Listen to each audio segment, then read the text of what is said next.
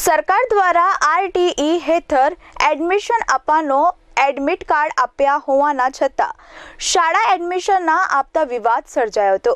વાલીઓમાં ભારે નારાજગી જોવા મળી હતી, જેથી સમગ્ર મામલે જિલ્લા શિક્ષણ અધિકારીને વાત કરવામાં આવી હતી. સુરતમાં શાળાના નવા સત્રની શરૂઆત થઈ ગઈ છે. આજે વિદ્યાર્થીઓએ પ્રથમ દિવસે શાળામાં પ્રવેશ કરી લીધો હતો. પરંતુ કેટલીક શાળાઓમાં પ્રવેશ પ્રક્રિયા અને લઈને વિવાદ ઊભો થયો છે, જેને લઈને વાલીઓમાં ભારે નારાજગી છે. આ મુદ્દાને લઈને જિલ્લા શિક્ષણ અધિકારી સુધી પ્રશ્નો ગયા છે. પહેલા રાઉન્ડમાં આરટીઈ અંતર્ગત પ્રવેશ આપવામાં આવ્યા. પરંતુ બીજા રાઉન્ડમાં વિદ્યાર્થીઓને પ્રવેશ આપ્યો નથી.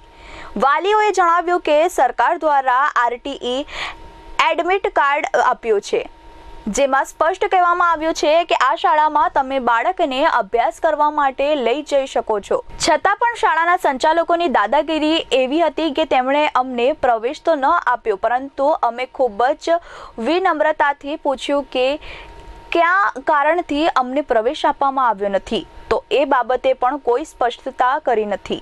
આખરે અમે જિલ્લા શિક્ષણ અધિકારીની કચેરીએ જઈને અમારી રજૂઆત કરી આવ્યા છે. જિલ્લા શિક્ષણ અધિકારી દ્વારા આગળની કાર્યવાહી કરવામાં આવશે.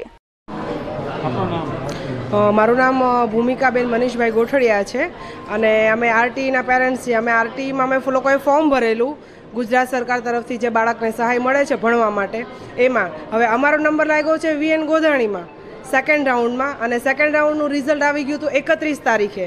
એકત્રીસ તારીખે રિઝલ્ટ આવી ગયું તો એ પહેલી તારીખે અમે લોકો એડમિશન કાર્ડ અમે લોકો વીએન ગોધાણીમાં આપવા માટે ગયા. સવારે કાર્ડ આપ્યું ને બપોર પછી એ લોકો ઇન્ક્વાયરી માટે આવી ગયા. તો બીજા દિવસે અમે લોકોએ બધા પ્રૂફ સબમિટ કરાવી દીધા. તો પાંચ તારીખ એટલે કે આજ સુધીમાં અમને લોકોને કોઈ રિસ્પોન્સ જ નથી આવ્યો કે એમે ફોન કરીને નથી કીધું કે તમારું એડમિશન કન્ફર્મ થઈ ગયું છે. આજે અમે સવારે જ્યારે સ્કૂલે ગયા ને, ત્યારે એ લોકો એમ કીધું કે હજી તમને સાંજ સુધીમાં જવાબ આપશે. પછી અમે પ્રિન્સિપલને મળ્યા. એટલે પ્રિન્સિપલે બી અમારી સાથે એટલું મિસબિહેવિયર કર્યું છે કે અમારે કેવી રીતે અમારે તમને કહેવું પછી અમે લોકોએ થોડાક સ્ટ્રિક્ટ થયા પેરેન્ટ્સ અને અમે લોકોએ કીધું કે જે હા નાનો જવાબ હોય એમને તમે તમે લોકો અમને જણાવો એમ.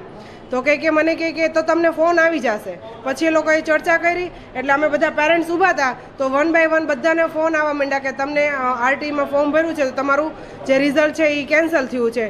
અમે પૂછ્યું કે કેવી રીતે? તો કહે કે તમારા ડોક્યુમેન્ટ્સના લીધે. અને ગવર્મેન્ટે અમને લોકોને કન્ફર્મ કરી દીધું છે કે તમારો આરટીઈમાં નંબર લાગી ગયો છે.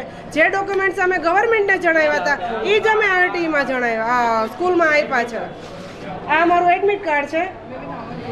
આજે છે. આ જે એડમિટ કાર્ડ ગવર્મેન્ટ તરફથી હોય ને એ બધાને અમને જણાવ્યું છે આ અમે બધાને આપ્યું છે સ્કૂલમાં. આ કન્ફર્મ જ હોય છે. સરકાર તરફથી તમને પ્રૂફ આપવામાં આવ્યું કે તમારું એડમિશન કન્ફર્મ થઈ ગયું છે.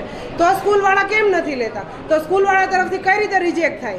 કારણ કે ગવર્મેન્ટે પ્રૂફ સાથે જો અપ્રુવલ આપ્યું હોય, તો સ્કૂલવાળાનું પરમિશન હોય. સ્કૂલવાળા આપી શકે કેન્સલ કરી શકે, ના કરી શકે. Bureau report, S twenty four news Surat.